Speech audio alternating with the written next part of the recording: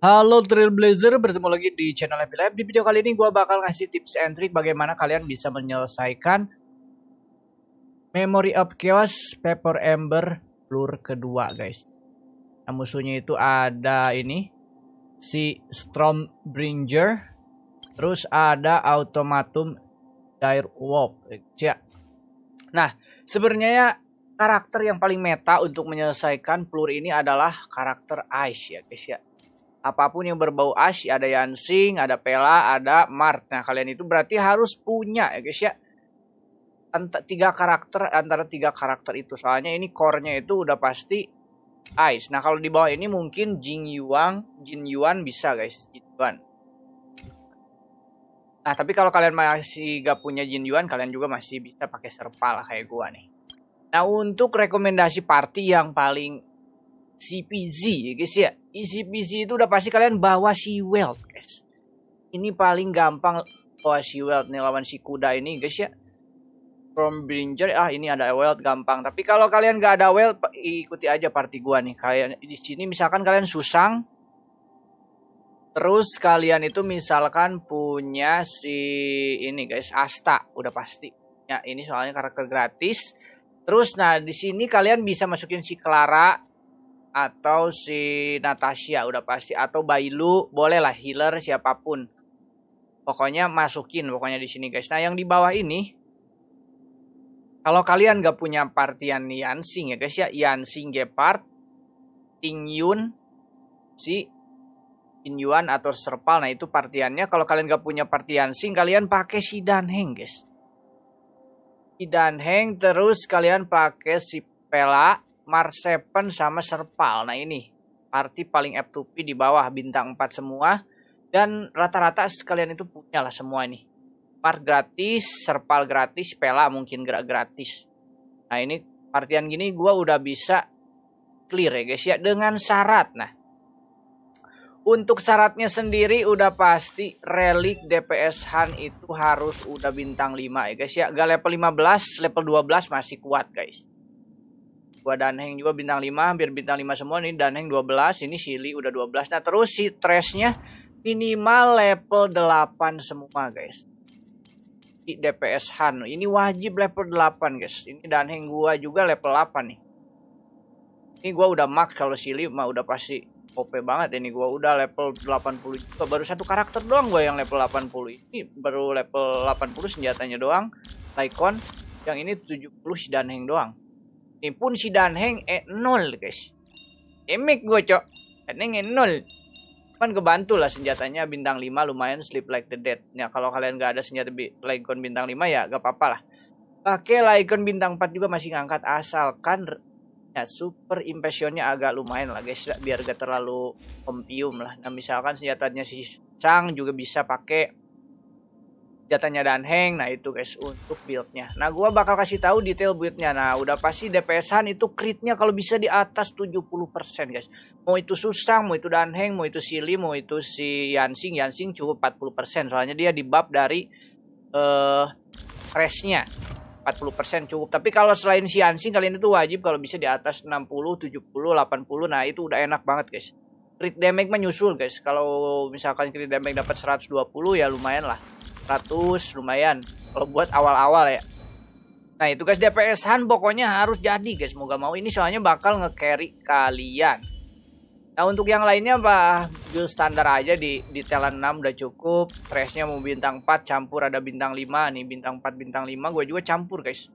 Nah udah pasti yang ininya kalian wajib support-support itu pakai energi regeneration rate guys. Biar cepet ulti jadi yang carry tetap nanti DPS-nya buat ngebreak ngebreak. Nah ini energi regeneration rate semua ini. Wah ini energi regeneration rate. Natasha juga energi regeneration rate. Semuanya hampir semua ada energi regeneration rate guys. Nah untuk kayak Annihility ini udah pasti ini pakai efek hit rate. Ini efek hit rate juga gua pakainya. Terus si Natasha support support jangan lupa ininya SPD semua guys SPD ini SPD gue SPD semua nih SPD semua pokoknya gue SPD semua guys ini jangan lupa SPD semua ya ini gua gua sih ini SPD nah ini juga SPD juga pokoknya dan kecuali DPS hannya nggak SPD Gak perlu SPD soalnya cari di stat aja soalnya dia itu butuh damage guys jadi mal 120 lah udah udah cukup untuk DPS han itu SPD nah gue di sini ini pakai attack juga. Di Danheng juga pakai attack guys. Nah kita bakal coba ya guys ya partiannya yang gua udah build ini. Energi uh, Forgotten Hall. Nah ini gua di sini gas nih. Ini gua partinya di sini paling enak itu kalau bisa bawa si Meko. Cuman gua kagak ada guys Wealthy Meko udah pasti GGW Pred cuman gue punya cuman punya Silly Asta gue pakai Trailblazer api juga ini boleh guys. Tapi gue pakai physical biar ngebantu sub DPS terus gue pakai Natasia nah di bawah ini gue udah pasti pakai Danheng Pela Kepal dan Mark Seven. Nah kita gas ya guys ya. Apakah isi PC atau tidak? Udah pasti isi PC ya guys ya. Soalnya gue silinya ini udah broken banget guys asli kita aja dulu yang ini keluarin babnya gas. Nah ini udah pasti hancur ya guys ya. Jadi pas ngeluarin teknik kalian pakai karakter fire guys agar si kroco-kroconya tagosnya langsung hancur. Nah ini langsung hajar. laser bos ceplak. Wah, gak crit. Gambing, gambing. Nah, gitu guys. Kalau misalkan critnya itu di bawah 50, itu, itu gacha banget guys. Asli guys. Kalian harus mempunyai crit yang minimal di atas 70 lah kalau bisa. Kalau pengen enak ya. Kalau misalkan gak cakrit ya bisa kalian ngulang-ulang. Ini gue sem semua full auto guys. gak ada yang manual. Healer pun gue manual guys. Gak auto soalnya ini masih gampang untuk gue guys. Kayaknya si karakter-karakternya udah agak lumayan gak gua, gua buildnya meskipun semuanya nggak rata 80 gitu. Nah, cuma satu karakter doang kan jadi ini yang carry parah. 80 nah kalau kalian gak kuat ya paling enak ada si belt nah ini kita keluarin dulu si litek langsung asta lagi guys. Ya asta wajib di boil pokoknya MOC pakai simulator 6 juga pakai asta guys. Asli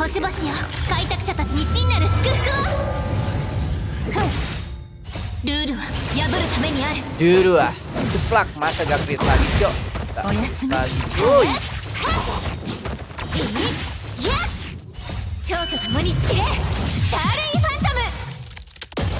Oke, kirinya kesilinya emang OP guys ya, man. Kali 50. Padahal oh, senjata cuman pakai senjata Herta guys. Yang penting mah trashnya maksimal guys. Nah kalau di sini kalian bisa bunuh yang kiri dulu atau yang kanan dulu. Nah gua bunuh yang ini dulu soalnya ini agak berat guys. Gua keluarin dan hang, terus gua keluarin si Pela. Soalnya di bawah itu core-nya S ya guys ya. Ini gua cuman pakai si Max 7, gua gak bawa healer guys. Masih aman guys. Yang penting mah musuh cepet mati, usah banyak nih heal. Yang penting musuh cepet mati, aman guys. Putaran bisa banyak lagi.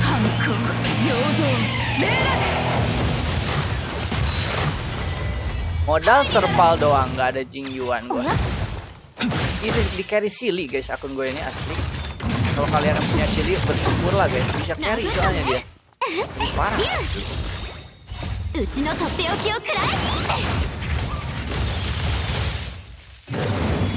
Nah kalau ada Yanxi mah udah enak banget nih. Sekali ngedamage udah pasti Big hancur. Nah ini Danheng ngedamage gak hancur guys ya tapi lumayan lah.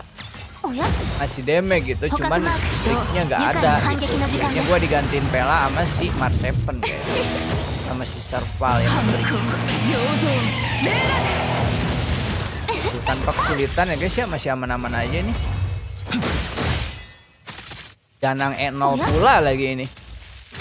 Kalau dana kalian E4 atau E5 atau bisa misalkan bukil E6 ya ah, udah pasti lebih gampang guys gue juga ini yang Enon masih aman gitu. Masih kuat gitu nggak mati gitu party ini meskipun nggak ada healer. Nah kan masih aman nah gue keluarin dana lagi udah pasti keluarin pela guys. Keren.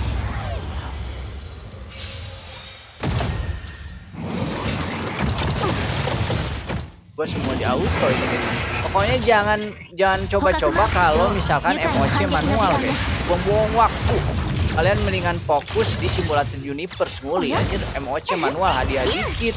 Udah mengulang-ulang lah buang-buang waktu guys. Tuh aman guys. Ya aduh Nah mantap guys. Nah ini gunanya eduration guys. Buat ngebunuh musuh-musuh kroco guys. Jangan cari damage dari eduration Erudition maksudnya. Yang cari damage dari si Danheng ini guys. Tuh musuh kroconya habis Bagian Danheng yang, yang hajar Jadi party paling stabil udah pasti ada satu Han Satu erudition Satu nihility atau harmoni Nah satu lagi Builder atau itu guys healer. Ini pasti paling enak kalau buat guys rata-rata musuhnya itu gitu banyak dulu. Oh, ya? ujung-ujungnya satu orang juga nasi dan yang bagian mukul nih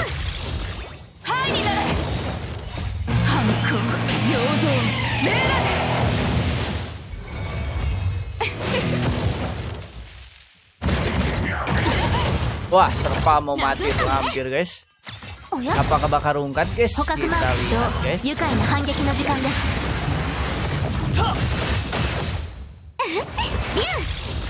Tuh masih aman ya. Mas Mas Captain kasih skill masih oke okay nih Udah mau udahan tuh 33 putaran lagi. 32 Masih nyisa banyak guys Tuh wah udah guys uh.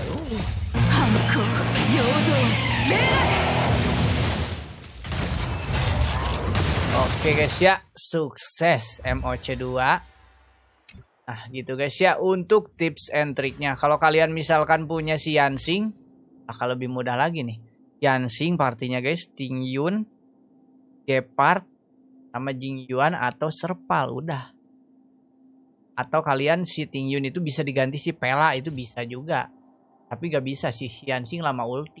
Jadi harus sama si Ting Yun. Mau gak mau Ting Yun masih guna juga soalnya ini bisa di break sama lightning juga. Nah itu guys untuk tips and triknya ya guys ya. Nanti di video selanjutnya gue mungkin bakal kasih tahu juga tips and trik di pelur 3, 4 atau 5 soalnya gue ini udah 3 star semua guys. Oke jadi gitu aja guys. Semoga videonya bermanfaat. Kalau ada kalian mau ditanyakan kalian juga boleh komen di kolom komentar. See you next time. I miss you.